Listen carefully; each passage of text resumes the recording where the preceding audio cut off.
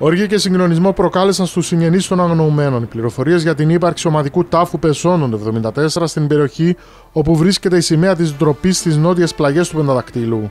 Όπω αποκάλυψε ο Αντένας, επιγάδης στην περιοχή θαύτηκαν από τις εισβολήσεις σωροί εθνοφρουρών που χάθηκαν στις μάχες του Ιουλίου του 1974. Υπάρχουν μάλιστα και σχετικές μαρτυρίες για τις οποίες γνώση έχει το κατοχικό καθεστώς.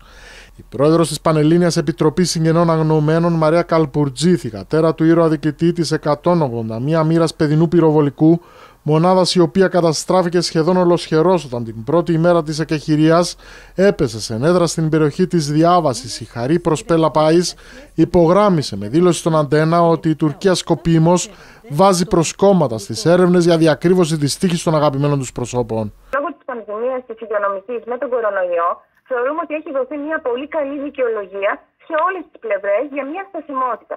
Δεν επιζητούμε την ύπαρξη, αλλά θεωρούμε ότι πρέπει να συνεχίσει με οποιοδήποτε τρόπο ε, να, να κινείται το θέμα των αγνοωμένων. Τα κατεχόμενα έχουν βέβαια κορονοϊό, είναι κλειστά, αλλά θα φανεί στην πορεία, εάν εμείς οργανωθούμε και πάμε μετά στοχευμένα σε κάποιες περιοχές, θα φανεί στο αποτέλεσμα αν πραγματικά δουλέψαμε και εν μέσω πανδημίας. Την στρεψόδικη στάση της Τουρκίας στο θέμα των αγνοωμένων έψεξε για ακόμη μία φορά και ο Επίτροπος Προεδρίας Φώτης Φωτιού, ο οποίος επιβεβαίωσε τις πληροφορίες που μετέδωσε το βράδυ της Πέμπτης ο Αντένα. Μέσα από μαρτυρίες και πληροφορίες υπάρχουν συγκεκριμένες τοποθεσίες με ομαδικούς τάφου. Η κατοχική δύναμη δεν θέλει να συνεργαστεί με τη ΔΕΑ για να μπορέσουμε να επιλύσουμε αυτό το μεγάλο ανθρωπιστικό πρόβλημα.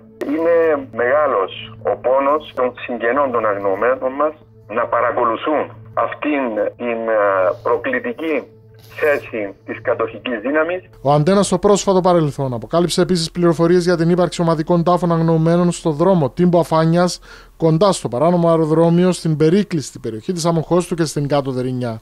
Με τις κατοχικές αρχές, ωστόσο, προκλητικά να διαφορούν και να μην δίνουν πρόσβαση ακόμη και σε περιοχές οι οποίες δεν θεωρούνται στρατιωτικές ζώνες.